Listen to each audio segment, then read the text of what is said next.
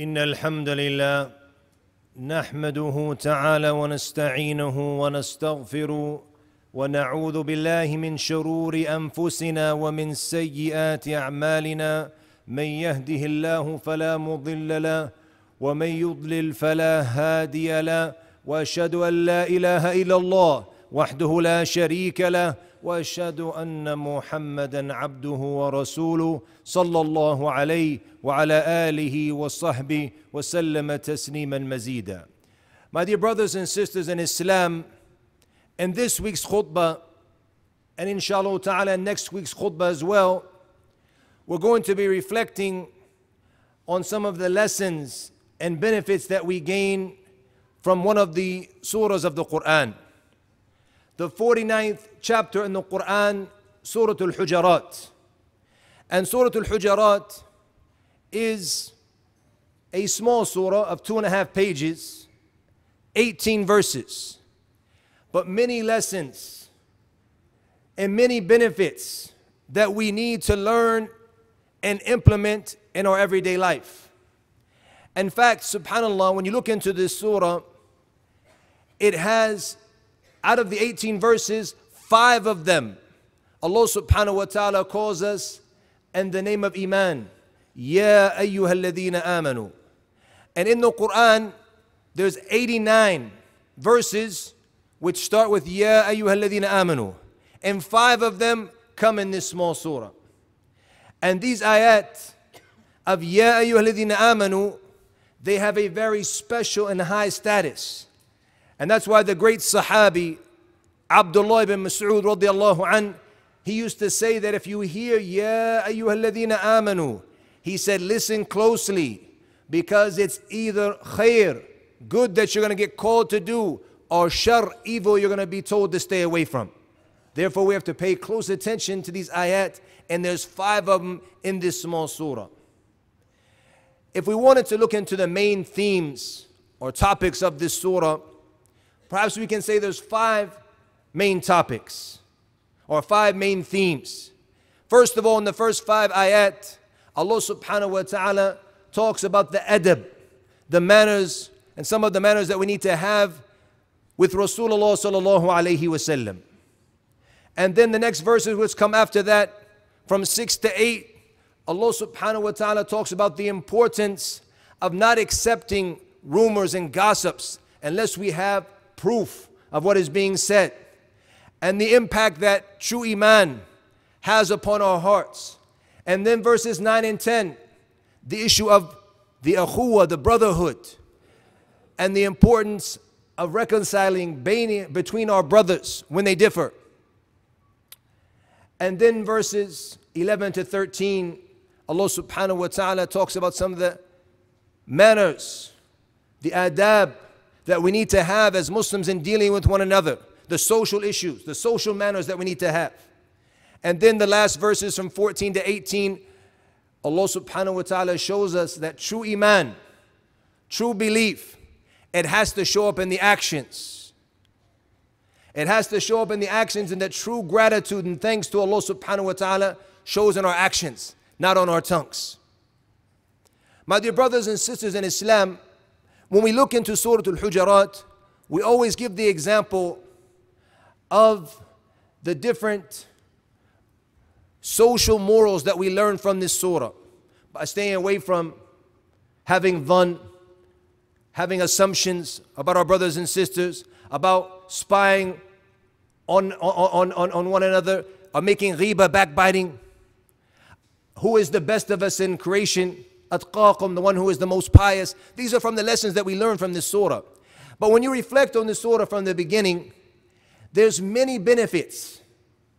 And perhaps it's like principles that are being laid down to us before these social obligations come. Subhanallah. When you look into the surah, Allah subhanahu wa ta'ala talks about these social issues, these social obligations and manners that we need to have from verse 11 to 13 in detail. But when you look at verses 1 to 10, and that's what we're going to reflect on today in this khutbah, on these verses, about six or seven essential principles that we want to learn from these ayat. And at the end of the khutbah, we're going to talk about what impact these principles should have upon us. And this is how we need to be when we read the book of Allah subhanahu wa ta'ala. To open the book of Allah and reflect on its meanings. This surah, what is it trying to teach me? Not just, oh, alhamdulillah, it's two and a half pages. I get a lot of ajr and I finish it quick. You're going to get the ajr inshallah. But the objective is what is this surah teaching me? From the beginning, from the first verse, one of the major lessons when Allah subhanahu wa ta'ala says, Ya ayyuha alladhina amanu, la tuqaddimu bayna yaday Allahi wa rasulih. O you have believed, do not put yourselves before Allah and His Messenger. Do not put yourselves before Allah and His Messenger. وَاتَّقُوا اللَّهِ وَإِن fear Allah, إِنَّ اللَّهَ السَّمِيعٌ عَلِيمٌ That indeed Allah is Sami' He's the all hearing. He hears what you're saying. He's the alim, the all knowing subhanahu wa ta'ala. He knows everything you do from your actions. لا تقدموا بين يدي الله ورسوله. Do not put yourselves in front of Allah and His Messenger sallallahu alaihi wasallam. What does this mean? Abdullah ibn Abbas radiallahu anhuma, he said, أي لا تقولوا خلاف القرآن والسنة.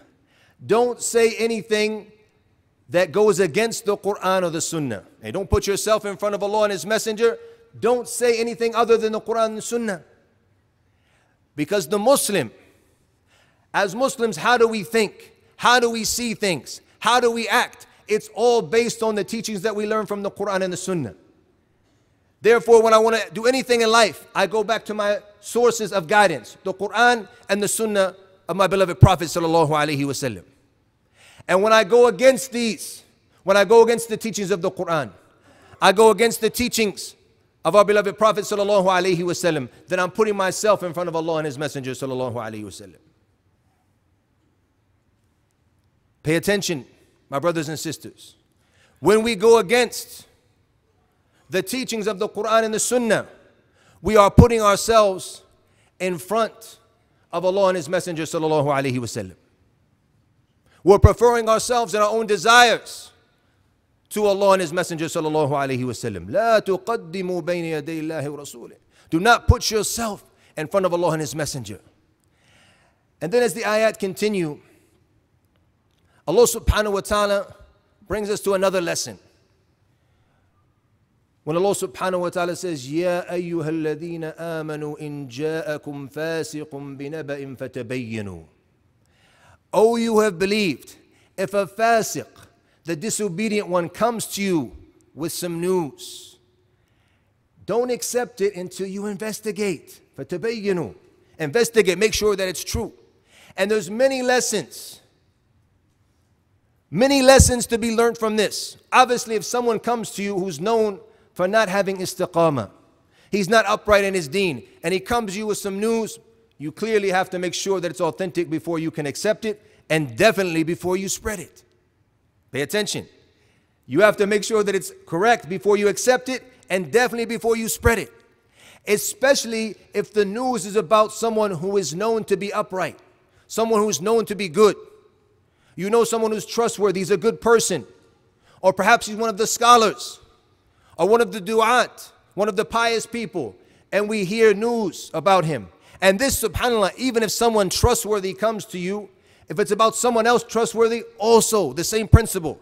You have to make sure that it's authentic. And my dear brothers and sisters, we really need to focus on this. Because in the days we live in, the days of social media, where one word or one message that we sent can reach hundreds and then thousands and then millions. And what can the outcome of wrongly spreading information? What can happen? What, what's the outcome going to be? Allah mentions in the verse. أن تصيبوا قوما بجهالة فتصبحوا على ما فعلتم نادمين. That you will harm someone out of ignorance by accepting the truth and then spreading it. That you will harm someone out of jahala, out of ignorance فَتُصْبِحُ عَلَى مَا فَعَلْتُمْ نَادِمِينَ And then you will become regretful from what you've done. You might become regretful. You might even make tawbah. But after the harm has already been done, is it going to benefit you? What's going, what have you done to your brother when you've harmed him, when the word has spread to a million people? And then you go on Facebook with your following of, of 800 or 1,000, you say, I made a mistake. But that WhatsApp you sent out reached the world. Be careful. Be careful in spreading the information. Sahih Bukhari, when the Prophet ﷺ saw in his dream the one who was being tortured and his cheeks were being pulled back until they reached the ears. And then it would reform again, and then he'd be tortured like that time and time again, being pulled back and, and, and ripped open. They said, Who was this man? He said, It's the one who tells the lie, and it spreads throughout the world. It spreads throughout the world. And this is the reality of the social media era that we live in. Be careful in accepting information about your brothers and definitely make sure you're careful when you spread it. I remember in recent times, one of the famous du'at, I was never really a fan of him myself. However, he fell into some things that were haram. And perhaps he did make some mistakes, but nonetheless, the people made a bigger deal about on social media. And the things that were said about him and what he did was even worse than what he had done. And they spread it throughout the world. Allah Akbar. If you don't have anything good to say, don't say it at all. This is someone who's been teaching you for years, and all of a sudden you hear something wrong about him and you spread it throughout the world. It's Ittaqullah when dealing with your brothers. Don't be from those who come and regret Yawm al Qiyamah with this one word that could put you deep into the hellfire, as the Prophet ﷺ told us. Then Allah subhanahu wa ta'ala tells us about the impact of Iman. When he said, لكن لكن الله حبب إليكم الإيمان وزينه في قلوبكم وكره إليكم الكفر والفسوق والعصيان. When Allah subhanahu wa ta'ala said that He made the love of Iman in your heart. Once the Iman enters in the heart, you find the love of Iman, the love of Islam, the love of doing good deeds. But Allah said, زينه في قلوبكم that he beautified it in your hearts and the difference of just loving something and having it beautified in your hearts as the scholar said is that once it's beautified in your hearts you're going to be continuous in trying to what act upon it continuously act upon it this is the impact of iman and right away once you love Allah subhanahu wa ta'ala and you love the prophet sallallahu alaihi wasallam and you love your religion al Islam and enters into your heart, then automatically you hate and dislike and despise everything which contradicts and goes against it. That's why Allah said immediately in the verse, وَكَرَّهَ إِلَيْكُمُ الْكُفْرَ وَالْفُسُوقَ وَالْإِسْيَانَ And He makes dislike to you all the types of kufr, disbelief, or deceit, or disobedience. Allah subhanahu wa ta'ala makes the true believer hate these things when he sees them. And that's why the Prophet sallallahu alaihi wasallam said, "Awthaq al-iman al-hubbu fillah wal-bughdu. That the strongest bond of faith, the strongest type of faith is loving for Allah, loving for the sake of Allah and hating for the sake of Allah. This is what iman does to our hearts. And Allah subhanahu wa ta'ala said, Fadla min Allahi wa ni'mah. When Allah said that this is the favor of Allah and His ni'mah, His blessing. This religion we have at Islam is the greatest blessing we have, my dear brothers and sisters. We have to remind ourselves. We have to remind our children when we see the blessings of Islam and we see how other people have gone astray from other faiths or even those who were born Muslims but they've gone astray and we say, Alhamdulillah, Allah guided us. Alhamdulillah, Allah has blessed us with Islam. We have to cherish our faith more than anything. And this is the halawa of iman. As the Prophet ﷺ described, you find the sweetness of faith. It's more beloved to you. You would love to be thrown into the fire. Love to be thrown into the fire more than you would like to go back to kufr or disbelief, turning away from Allah subhanahu wa ta'ala. This is the impact of iman. That's why Allah subhanahu wa ta'ala said, "Fadl min Allahi wa. It's Allah's fadl, it's His favor upon you, and His ni'mah, His blessing. Be thankful of this blessing. Then Allah subhanahu wa ta'ala tells us about the importance of brotherhood. And the human nature is that even though we're brothers, even though we love one another, that we might differ. We're going to dispute. And sometimes the dispute can get so bad, it can lead to fighting. And that fighting, it might be verbal, or it could be physical. It could be serious confrontations. Allah subhanahu wa ta'ala told us in these verses that if this happens between your brothers, فَأَصْلِحُوا بَيْنَهُمَا Then reconcile between the two, between the two when they're different. And how do you reconcile between them? فأصلحوا فأصلحوا بينهما بالعدل وأقسطوا to to solve their problems to help them help them reconcile with adil, with justice and with acting justly and subhanallah when the muslims acted justly and strove to implement the Quran and Sunnah in themselves and to spread the message of La ilaha illallah Muhammadur Rasulullah and to establish the adil and justice upon the earth, that's when the ummah was superior. But when we left these things, we left acting upon the Quran and Sunnah within ourselves, and we left calling others and spreading the message of La ilaha illallah Muhammadur Rasulullah, making this one of our key objectives in life. And we left trying to establish justice upon the earth. Allah subhanahu wa ta'ala humiliated the ummah. And that's the situation of the ummah today. But when we turn back to justice and implementing justice within ourselves, within our families, within our societies, and striving to establish it upon the earth, Allah subhanahu wa ta'ala is going to help us. And He's going to make this ummah superior once again, inshallah ta'ala. And then Allah showed us and reminded us what it means to be a brother in Islam, what it means to have brothers in Islam. إنما المؤمنون إخوة. In a very small verse, but very precise and very powerful in its meaning. Innama, just putting emphasis that indeed the, the Muslims, they're only believers, they're only brothers. In the, indeed, the believers, they're only brothers. That's all they are, that's all they can be. If you want to be a true believer, the only thing you can be is a true brother to your brother. Look at the description of this akhuwa, of this brotherhood, as it was described by our, our beloved Prophet sallallahu alaihi wasallam in the hadith which is narrated in Sahih Bukhari and Sahih Muslim. When he said, Al-mu'min lil-mu'min kal-bunyan yushiddu ba'dahu ba'da. He said, alayhi salatu wasalam, that the believer to the believer, the example of the believer to the believer, he said it's like the bricks of a building. And they what? They put themselves together. They make themselves strong, like the bricks of the building. And he gave the example, alayhi salatu wasalam, at the end of the hadith by putting his hands together like this, intertwining between his fingers to show what it means that this is the brotherhood. And what happens if we come to a building, we start taking a brick from here and a brick from there, and then we take a brick from the top and a brick from the bottom? What's going to happen eventually to the building? It's going to collapse. And without this brotherhood, also, as an ummah, we're going to collapse.